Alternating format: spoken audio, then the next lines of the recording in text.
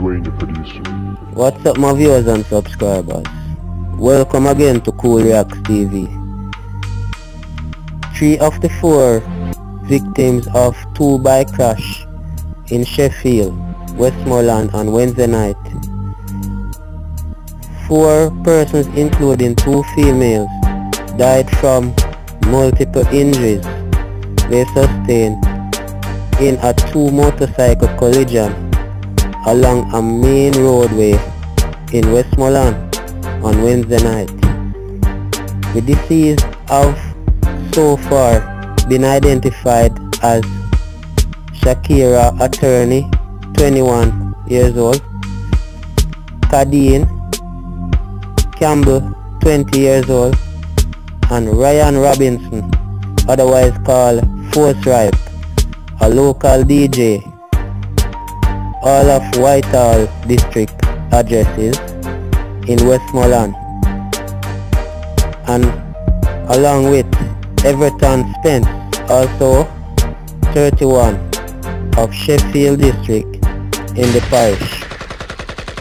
Reports are that about 9.30 pm the two motorcycles were being driven along the Sheffield Main Road in Westmoreland in the opposite direction when the driver of one was preparing to make a turn and was run into by the other motorcycle.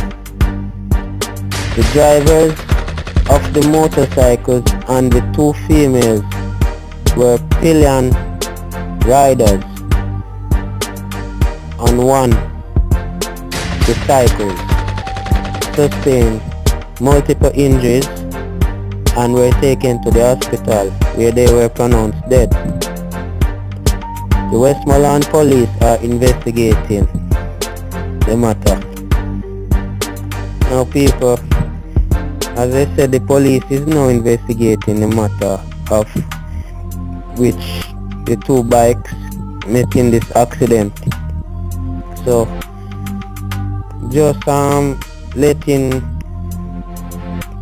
the younger people who love to ride on bikes and all of that know that. It's not a joyride when you're when you're on the ride when you're on the bike people. You have to be very careful. The riders be very careful when you're on the road. Take this as an example. Because speed kills. And too much things that been happening and we are not learning from what is happening so exercise caution even though you cannot be too careful but try your best to exercise caution on the road thanks for tuning into Kool Reacts TV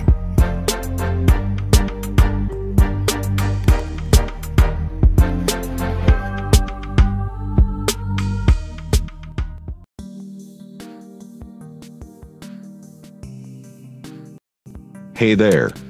Subscribe to my channel. And also press this bell icon. So you never miss any new updates cause whenever we upload new video you will get a notification on your phone.